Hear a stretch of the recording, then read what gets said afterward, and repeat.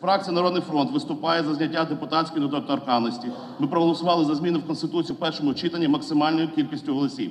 Ми також переконані, що парламент творець законів і контролер від імені народу. Тому парламентарі повинні мати імунітет щодо своєї політичної діяльності. Імунітет не повинен бути індульгенцією на вчинення протиправних дій для високопосадовців, так і виправданням для антикорупційних органів про неспроможність напрацювання повноцінної доказової бази. Але питання недоторканності повинно розглядатися в комплексі із змінами до конституції, кадровим оновленням і реформою судової гілки влади та іншими змінами до законодавства для того, щоб привести інститут недоторканності високопосадовців до рівня, який існує в розвинутих державах. Це питання не можна відкладати знов. Його повинен вирішити парламент цього скликання.